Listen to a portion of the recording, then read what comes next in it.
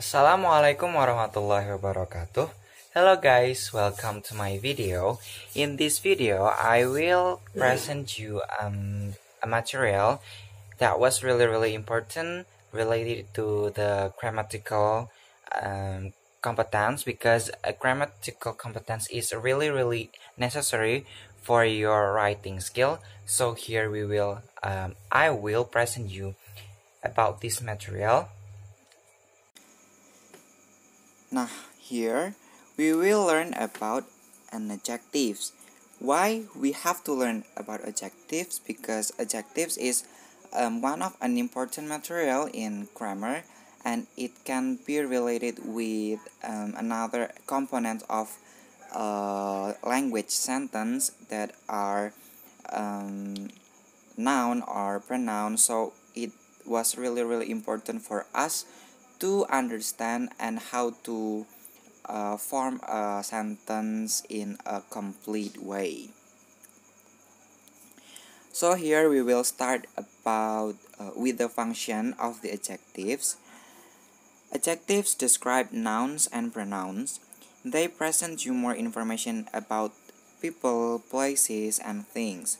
For example, here we have a beautiful girl.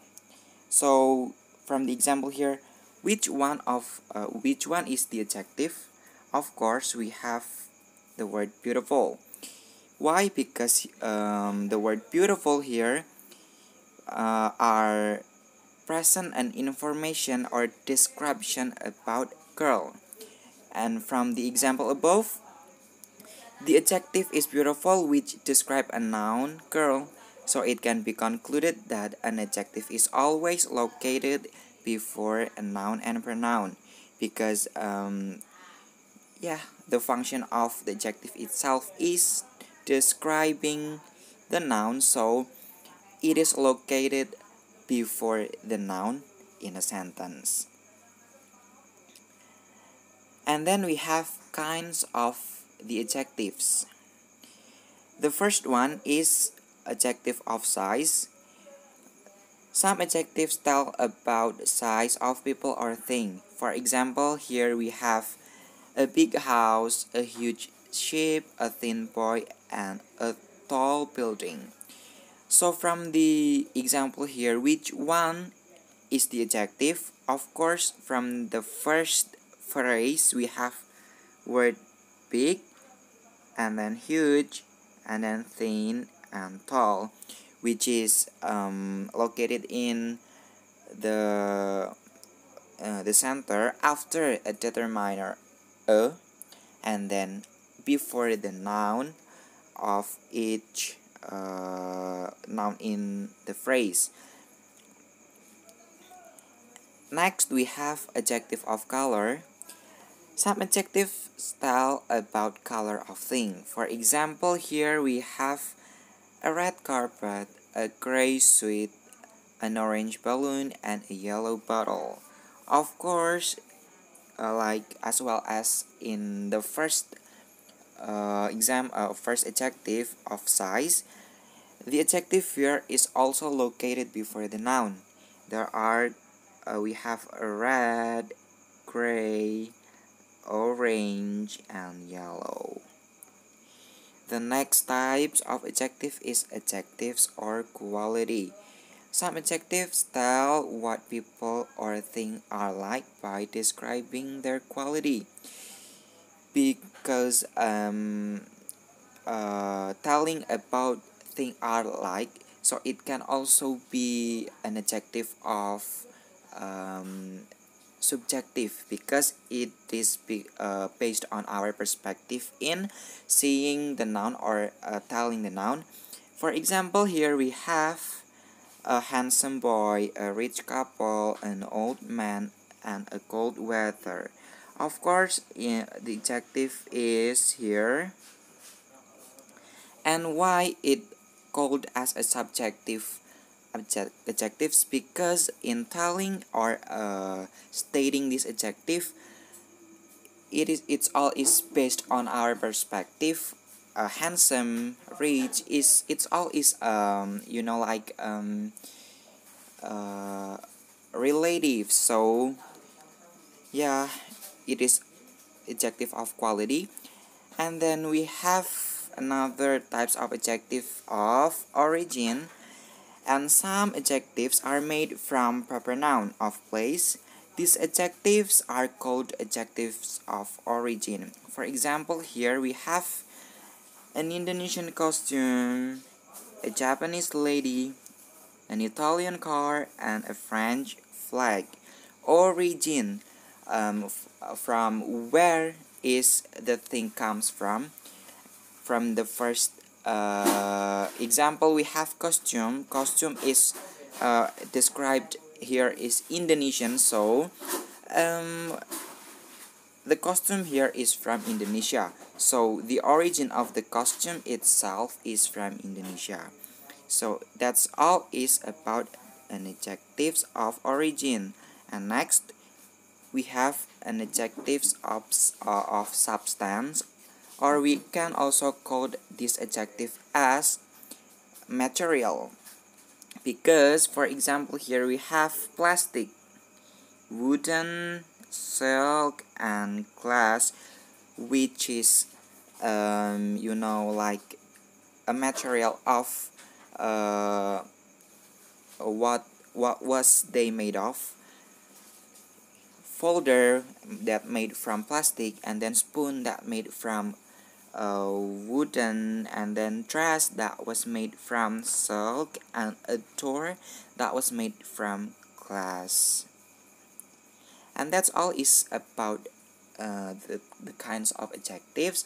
For more information you can learn by yourself via exploring in website or another source of uh, material. And next I will present you about the order of adjectives why you have to learn also about the order because sometimes several adjectives are used to describe a single noun or pronoun and when you use two or more adjectives the usual order is like um, the following order the first is size and then quality and then color, origin, and substance. For example, here we have a green plastic bottle. A green, green here is a color and then plastic here is a substance. So, um, uh, this is the or uh, the order that we want to describe about a bottle bottle which have a color of green and made from plastic and then the second uh, one is we have a tall handsome korean boy. Of course here we will describe about a boy. And what kind of boy? Here we can describe a boy with um, tall. He is a tall and then he is a handsome. And he is from Korea because Korean boy. So this is um, based on the order of the adjectives. And then the next adjective endings. Yeah. And why should we also learn about adjective endings? Because sometimes adjectives is also comes from another word such as from noun and then from verb like um, why can a verb can be an adjective and why can a noun can also be adjective? We can mark with some endings that um, indicate that uh, they are an adjective. The first one we have adjective ending full and then os and y. Here we have the example a cheerful baby cheer and then with an adjective ending full becomes cheerful so cheerful here also becomes an adjective and then a famous actor. Famous is from a word fame. Fame in in bahasa we can um, called as terkenal. But when uh, this word give an ending os become famous, it uh, change the function of the word into an adjective that will describe the noun in the end of the phrase. And the next one we have adjective why. A messy hair. Messy here is from a word mess. In bahasa we can call as berantakan. And because the word mess here is um, uh, add with an ending y becomes messy and it also change the function of the word into an adjectives and then the next one we have less uh, i see ish able and if for example we have sleeveless national fantastic childish suitable and expensive sleeveless here is from sleeve and then um, add with an ending less. National is also from nation and then uh, add with an ending al fantastic.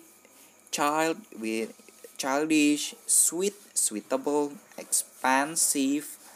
That's all is about an adjective endings. And we have also uh, uh, adjective endings ly ing and ed. Ly a lovely dress a smiling face a painted wall. Uh, i want to tell you about an adjective uh, with ending ad. here all uh, all of the adjective is uh, from the word of verb yeah verb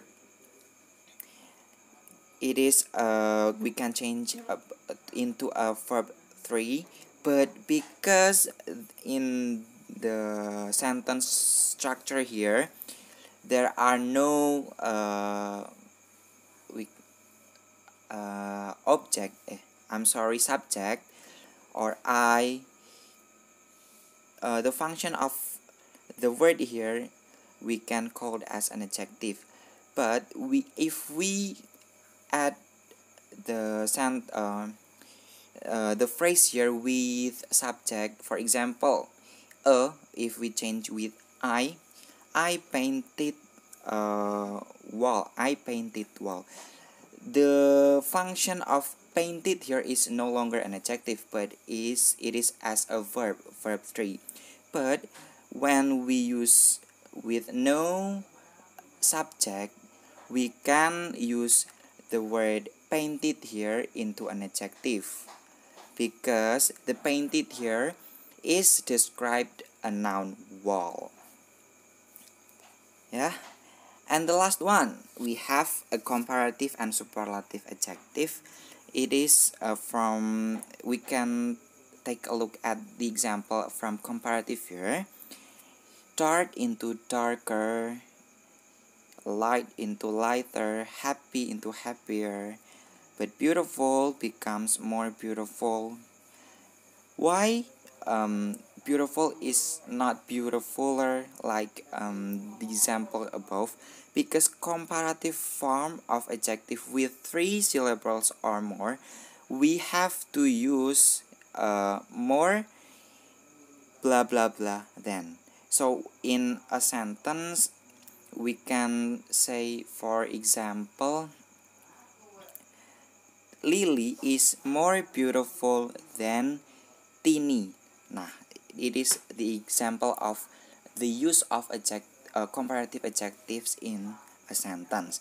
And then we have a superlative form of adjective dark into darkest, light into lightest, happy into happiest, and beautiful into the most beautiful, expensive into most expensive as well as um, the comparative superlative form for adjective with three syllables or more we can use the most and then followed by the adjectives and from uh, for example the use of superlative adjective in a sentence we have um, Lily is the most beautiful girl in the class.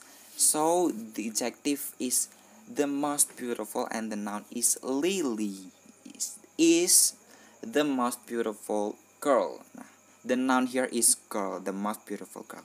So that's all is about adjectives that we have to learn uh, in this video. Um, if you have some hesitation or some questions, you can drop your questions in the link, uh, the comments below, and don't be hesitant to ask me anything. And thank you so much for your attention. Thank you so much for your time to watch my video in this um, chance in this opportunity. I'm so happy because i can present you this adorable material this um, useful material and i hope it can help you to enlighten or to give more knowledge about um, one of the most important aspects to write or to uh, uh, you know like in grammatical yeah that's all. Thank you so much and see you in the next video. Wassalamualaikum warahmatullahi wabarakatuh